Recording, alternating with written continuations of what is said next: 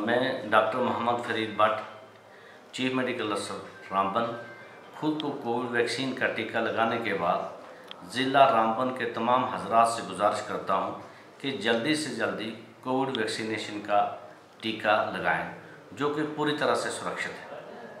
इस वक्त तीसरी फ़ेज़ में हम 45 साल से लेकर 59 ईयर्स तक के लोगों को, जो किसी भी बीमारी में मुबतला है, और साठ साल के ऊपर वाले लोगों को इस वक्त टारगेट कर रहे हैं।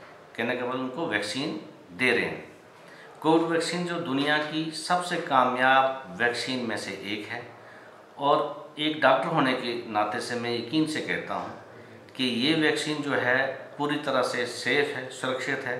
इसमें अभी तक कोई भी साइड इफ़ेक्ट्स नहीं देखे गए हैं और आप लोगों को कोविड 19 की इन्फेक्शन बचने के लिए वह एक ही तरीका है, वो कोविड वैक्सीन है।